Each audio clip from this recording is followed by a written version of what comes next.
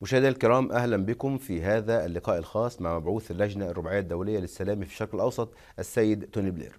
سيد بلير أهلا بك في سكاي نيوز عربية. سيد بلير قلت آه، مؤخرا إن المصدر الرئيسي للتوتر في العالم هو التطرف الديني، لكن هناك من يرى أن المصدر الرئيسي للتوتر على الأقل في المنطقة العربية والعالم العربي هو الاحتلال الإسرائيلي واستمرار السياسة الإسرائيلية في التعنت مع الجانب الفلسطيني. ما رأيك في ذلك؟ من المهم جدا إيجاد حل للنزاع الإسرائيلي الفلسطيني.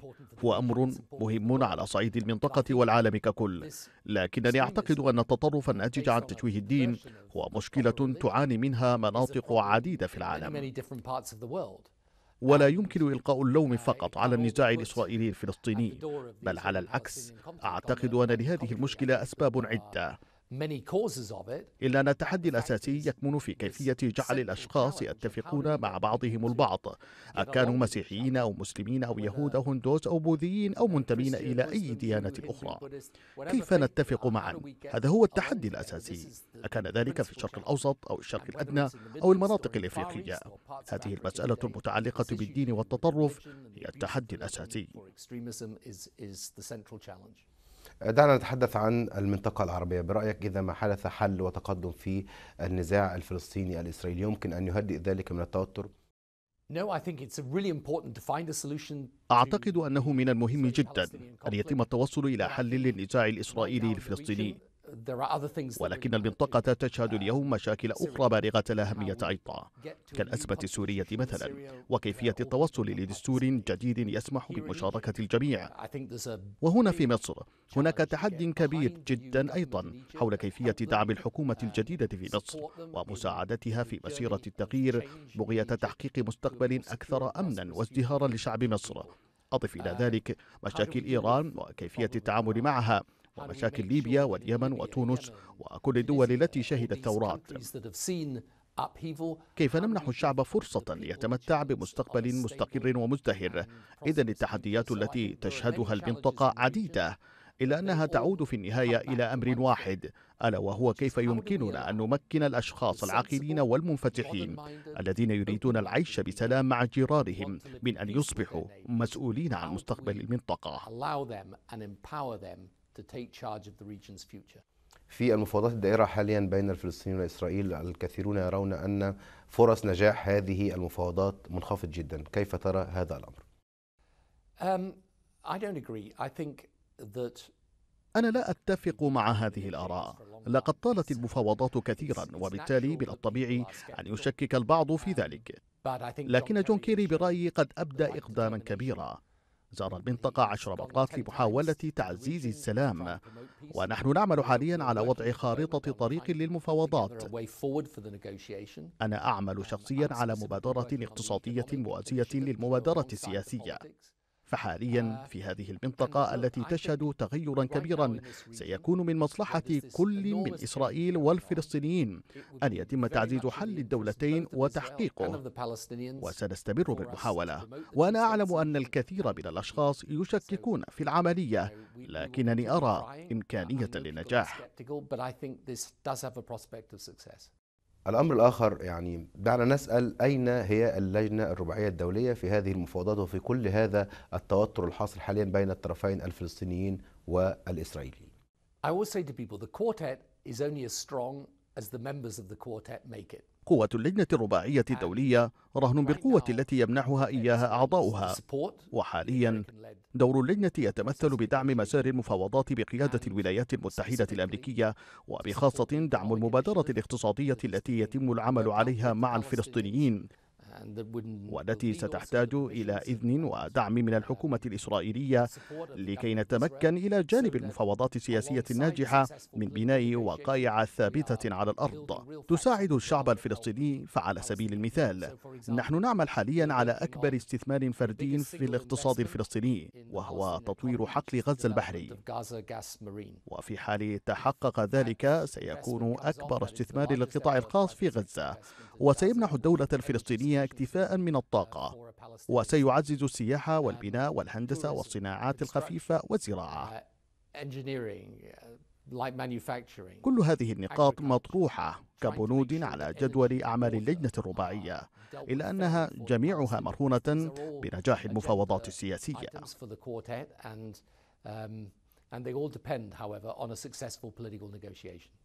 يعني على هذا النحو تبدو الرباعية الدولية وكأنها فقط في مساعدات اقتصادية وإنسانية. ألا يعني ذلك تراجعا في دوركم السياسي في حل هذا النزاع؟ نحن نؤدي دورا قويا ولكننا نعتمد على نجاح المفاوضات. في الواقع اللجنة الرباعية عبارة عن طريقة لإدارة المجتمع الدولي. وعدم اتفاق المجتمع الدولي يعني أن اللجنة لن تتمكن من العمل بفاعلية.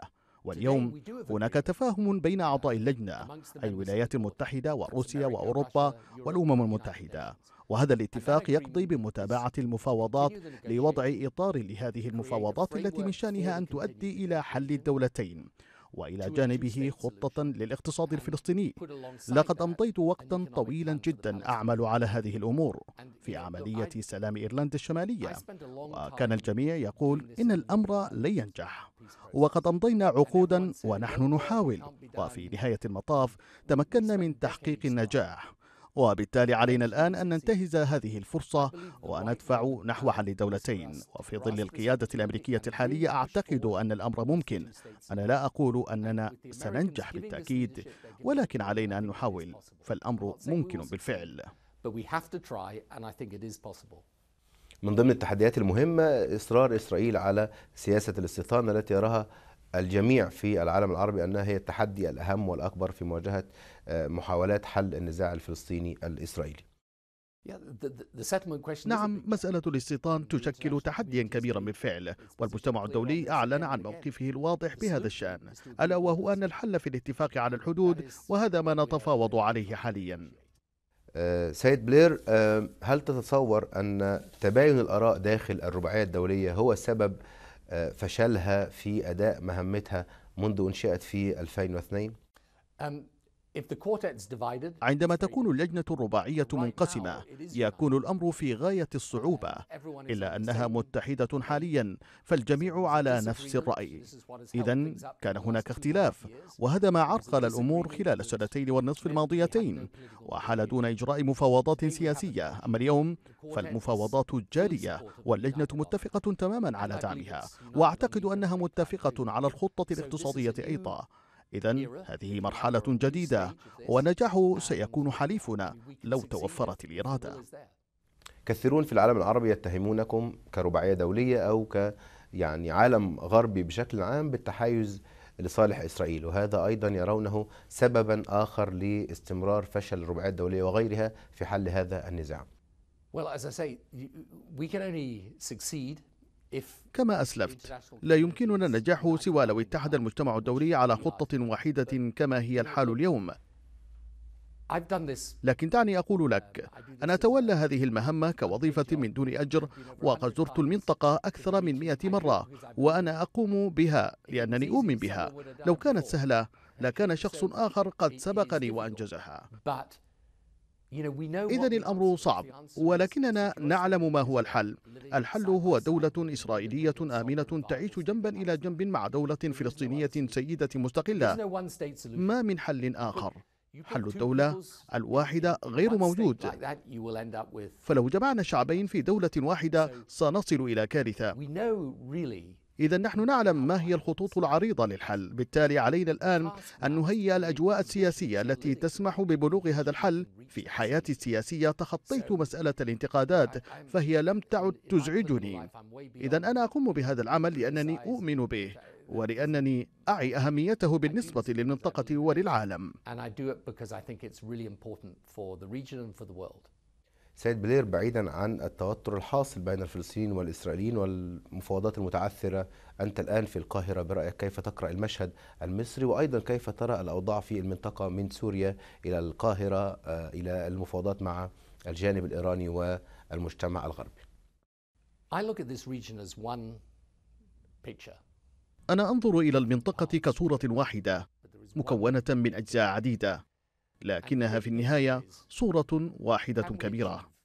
وهذه الصورة الكبيرة قابلة للتحقق في الشرق الأوسط. صورة مكونة من مجتمعات منفتحة واقتصادات حديثة توفر فرص العمل للشباب. وتسمح لدولة مثل مصر بأن ترقى لمستوى إمكاناتها لأنها دولة رائعة ذات حضارة قديمة تضم شعبا رائعا يتسم بالطاقة والإقدام لكن الشعب لم يتمكن ولسنوات طويلة من تحقيق هذا التقدم المرجو. برأيي يجب أن ننظر للمنطقة بكافة مكوناتها كصورة واحدة. ومن هنا يجب علينا أن ندعم الأشخاص الذين يطمحون لتحقيق مجتمع منفتح واقتصاد حديث. وهذا يعني دعم الحكومة المصرية.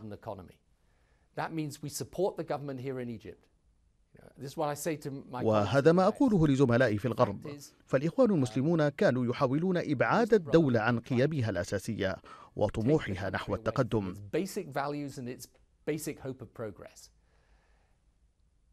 The army have intervened وقد تدخل الجيش نزولا عند رغبة الشعب بهدف الانتقال بالدولة إلى المرحلة التالية من تطورها التالي الذي يجب أن يكون ديمقراطيا.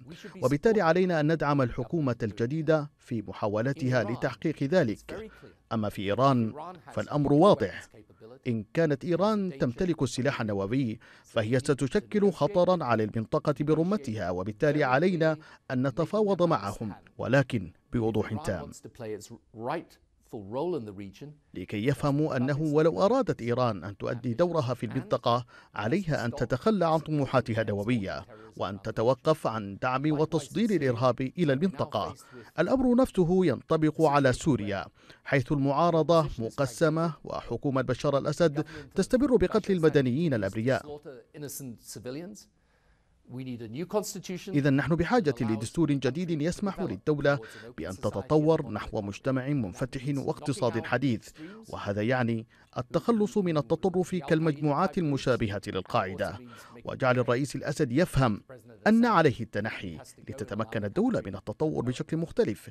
كما تندرج المسألة الإسرائيلية الفلسطينية في هذا الإطار أيضا لأن المنطقة لن تتمكن من أن تصبح عبارة عن مجتمعات منفتحة واقتصادات حديثة ما لم يتم حل هذا النزاع. إذا عندما أنظر إلى المنطقة أراها وحدة متكاملة. وهنا في مصر. من الضروري أن تحقق الحكومة الجديدة نجاحا وأن ندعمه في إطلاق هذه الحقبة الجديدة في مصر. يمكننا أن نناقش الماضي لكن ذلك لن يكون مجديا. وبالتالي على المجتمع الدولي برمته اليوم أن يدعم القيادة ويساعدها.